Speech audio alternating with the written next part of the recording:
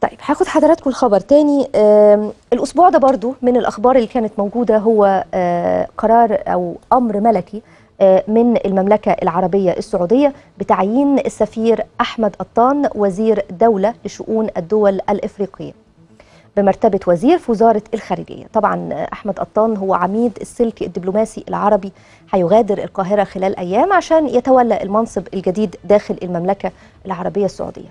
الكلام ده الحقيقة بعد سنوات كتيرة قضاها في بلده التاني مصر وبين أهله.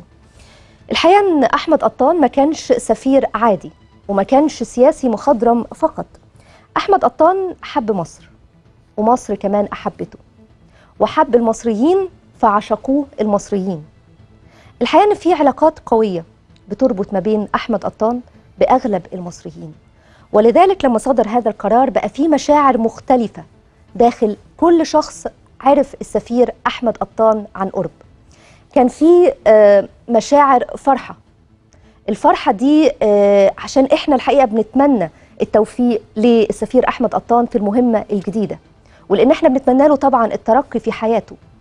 ولكن كان في مشاعر أخرى الحقيقة وهي مشاعر التأثر بأن آه، السفير أحمد قطان هيغادر مصر بعد كل السنين اللي قضاها في مصر وارتبط فيها بمصر والمصريين. بكلمات نبيلة جدا ختم أحمد قطان مسيرته في مصر. كتب على تويتر لا أقول وداعا لمصر وإنما إلى التلاقي دائما. أما مصر الغالية ستبقى في قلبي أينما كنت بل في وجدان كل سعودي وعربي. ومن شرب من مياه النيل حتما سيعود لها يوما.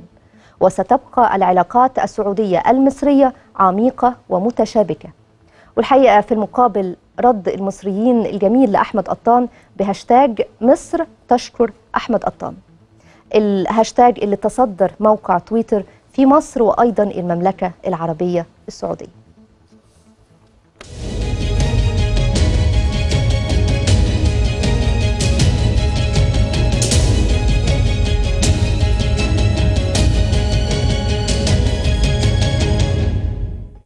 لا أقول وداعا لمصر وإنما للتلاقي دائما.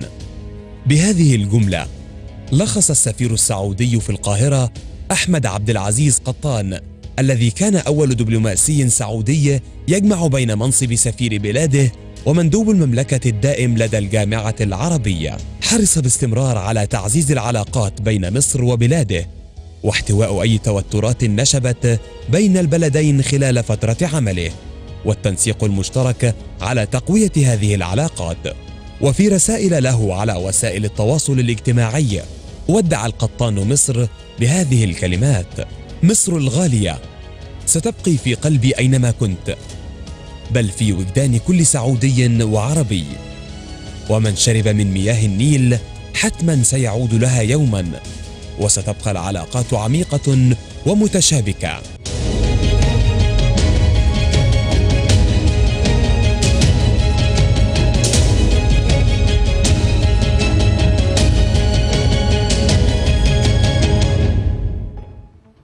كل التوفيق للسفير أحمد قطان في مهمته الجديدة ولو أن المصريين ومصر هتفتقد وجوده بينهم.